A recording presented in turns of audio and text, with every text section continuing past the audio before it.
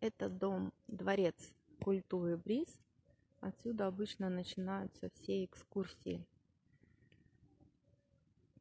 Сегодня я собралась ехать на джипах на Белую скалу.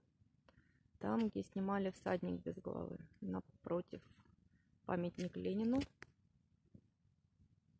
с голубем на голове. Как без них?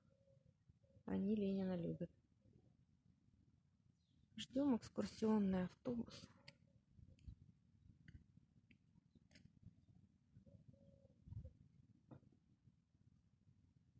Семь часов утра. Но для Приморского это уже разгар дня практически. Все пирсы заняты рыбаками. Пенсионеры делают упражнения. Скандинавская ходьба по набережной и все дела.